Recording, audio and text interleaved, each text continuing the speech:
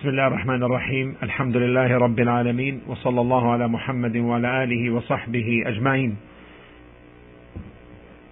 It proceeds then that the creed of Islam, the creed of Ahl Sunnah, and when you put the term Sunnah in its general meaning, it means Islam, and Islam is Sunnah, and the Sunnah is Islam. This creed is the creed of the Messenger sallallahu alaihi wasallam. This creed is the creed of his companions. May Allah be pleased with them all. And anyone who opposes that, then he subjects himself to the severe punishment of Allah subhanahu wa ta'ala and his wrath.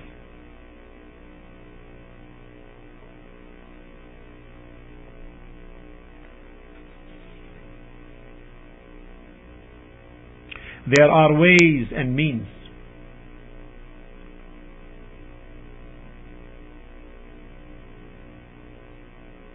That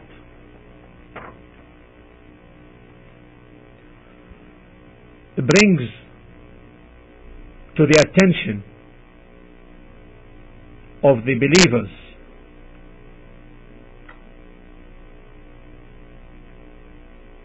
and puts before them this creed. Such means and ways could be through lectures. It could be through other ways of communications, including, of course, writing and authorship. And from the treatise on this creed is the creed entitled, or the book entitled The Correct Creed by the young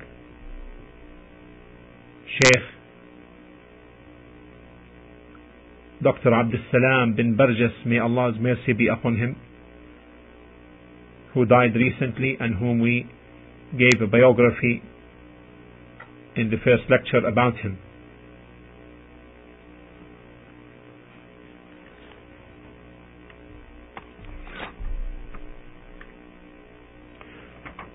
We all know that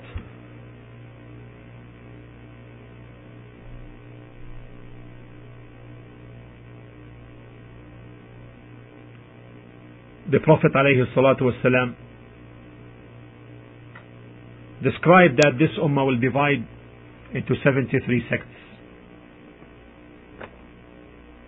All of them in hellfire except one.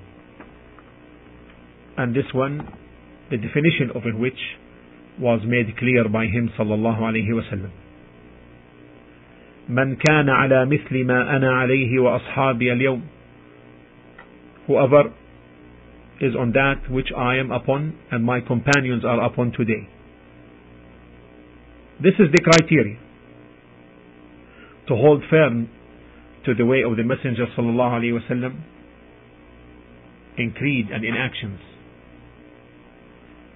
and to the way of his followers from the companions and on top of them are the four rightly guided caliphs Abu Bakr, Umar, Uthman and Ali.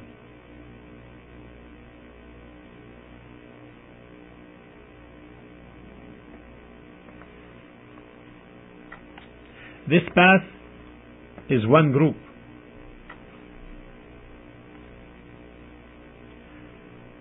Who holds to the following creed. Number one, that Allah, the Most High, is singled alone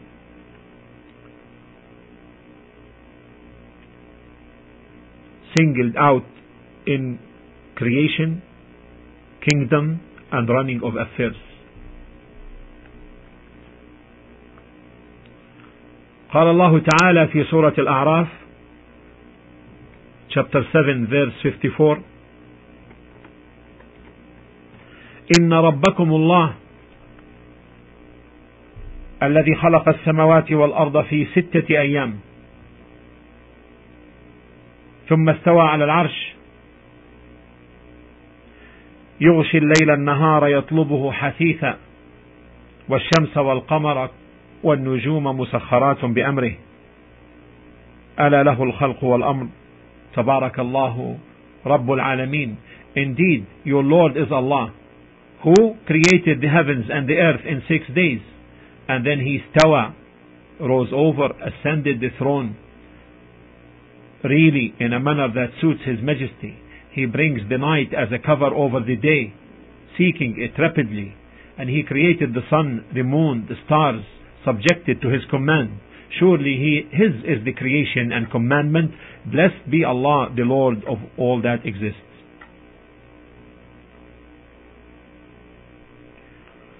And he said subhanahu wa ta'ala about himself in Surah Ash-Shura 42-49 لله ملك السماوات والأرض يخلق ما يشاء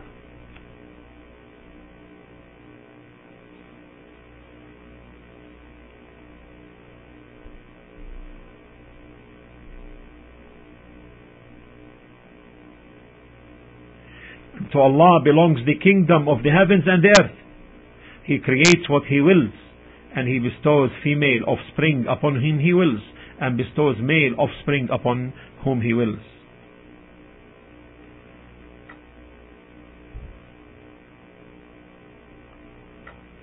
And in Surah Al-Hadid, verse 2,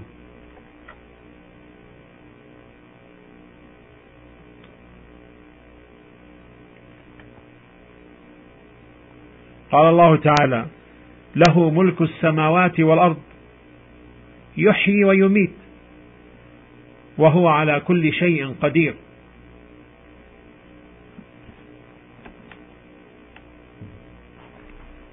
His is the kingdom of the heavens and the earth. It is He who gives life and causes death and He is able to do all things.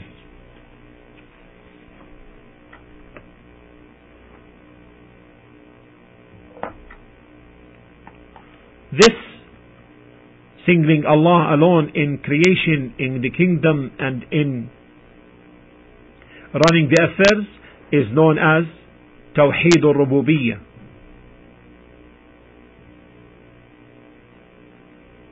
Is known as Tawheed al-Rububiyyah. This is its meaning. To single Allah alone in Lordship, meaning that He is the Creator, to Him belongs everything